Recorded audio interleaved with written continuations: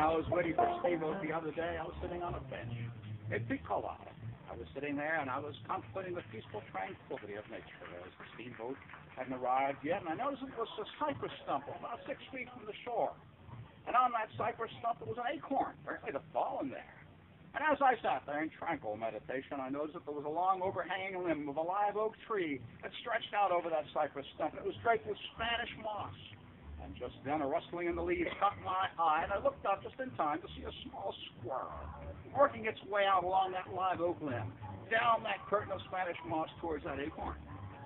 As the squirrel reached the bottom and reached out with its furry little paw, a humongous fish erupted out of the water. Now, I don't know what kind of a fish it was, ladies and gentlemen. It may have been a bass or a barracuda for all I know. All I can tell you is that half of that fish was mouth, and all of that mouth was teeth. And as that fish sailed through the air, the jaws gaped wide and snapped shut on that poor little squirrel, swallowing it whole.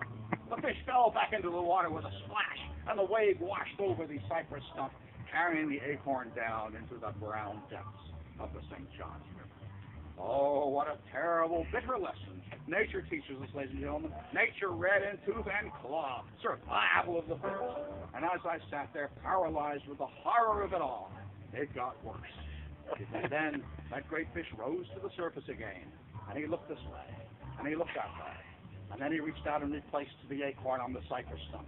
And wait for the next